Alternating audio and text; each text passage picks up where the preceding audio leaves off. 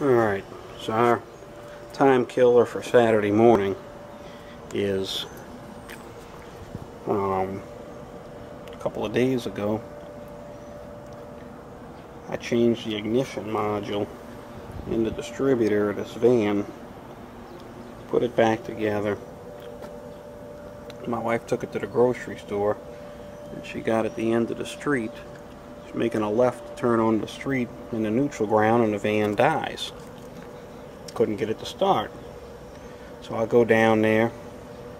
Couldn't figure out why it wasn't starting, but suspected, well, I just fooled with that. Maybe a wire came off or something. So I got behind her with the truck, started pushing the van home. She had the ignition on. All of a sudden, I seen smoke. First, I thought it was my clutch burning up in the pickup truck said, man, well, then I seen the smoke coming down the side of the van. Well, it turned out that the coil caught fire. And we can see the plug going back into the computer wiring harness. This thing has some residual damage. But I don't, I think that'll be alright.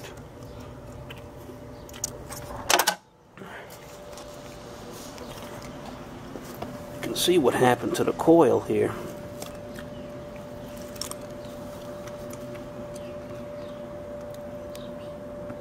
It burnt on the lead coming from the distributor.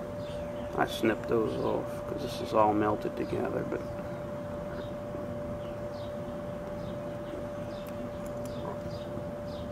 Nice, huh?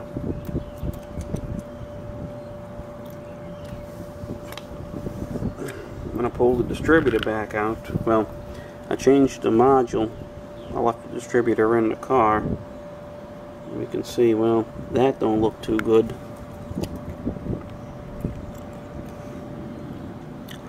So I'm thinking this got grounded. You can see the plastic. I guess that cracked and fell off a long time ago, but there's supposed to be another cover on here. But I guess the plastic thing being broken, this slipped up behind it where I couldn't see because I was looking at the thing from this angle. And this wire grounded to the body of the distributor, obviously, and that caused everything to go haywire.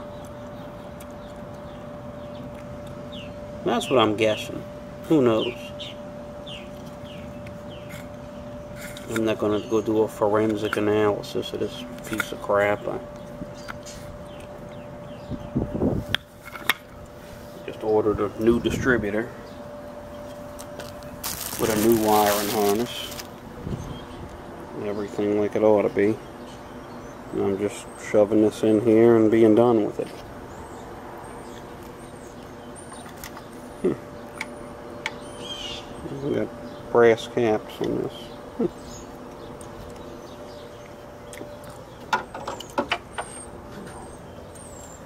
Guess I'll save this cap for later. But yep, so that's what's going on this Saturday morning. I'll mention something else. I mean, the price is right for these. It really is. And um, this was a Cardone Select new distributor.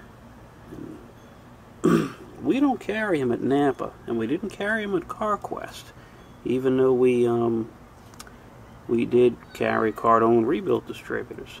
Now I'd put one of these in the Corolla I just sold because the, the, Advance wasn't working anymore in it. And it came with a weak coil inside. I had to put a coil in it and it was fine. This one, so far so good. I was like, oh, the cap's got brass contacts. That's nice. What's that down there? Hmm. So, this cap is unusable. Probably shipment damage or something. It's cracked. You see that?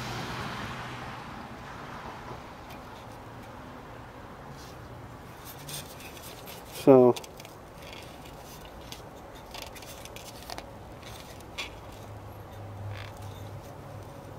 Look at that right there. Wouldn't do very good. So, but getting a new distributor was a must to get a new wiring harness because you can't get the harnesses by themselves. So, so that's that. Now, I got the timing set. That's all connected back.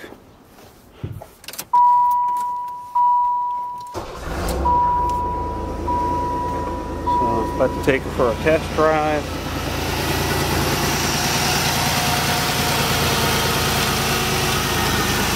I gotta tell you, I fought this thing for about an hour, wondering why am I getting no fuel up there? Well, the, the little locking tab had broken off of the back there, and lo, lo and behold, I plugged it in backwards.